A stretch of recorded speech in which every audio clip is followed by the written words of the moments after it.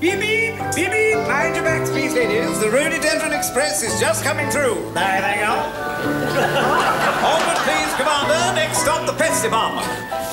All aboard. Good morning, ladies. Have a nice day.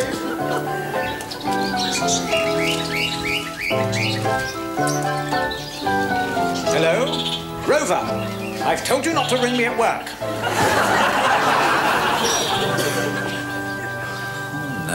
Don't like the look of any of these. What are you looking for? Anything?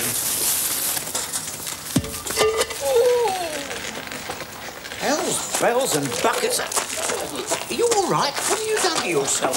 Here.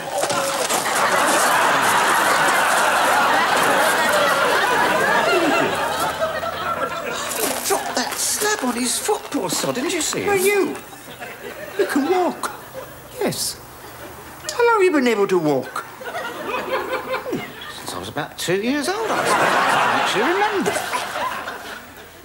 I've been wheeling you about in this thing all morning. Yes, I thought that was a bit strange, if I'm honest with you. But, well, as I say, I don't really know you, so I thought, well, I won't say anything. He probably thinks he's doing me a good turn. Do you a good turn? What were you doing sitting here in the first place when I came to collect you in the back garden?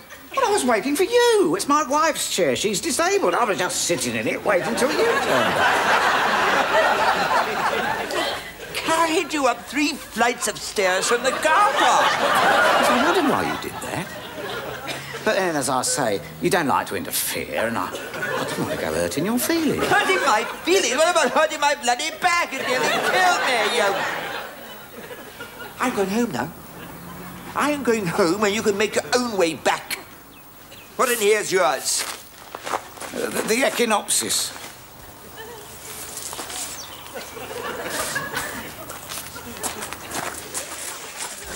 They say I might as well face the truth, but I am just too long in the tooth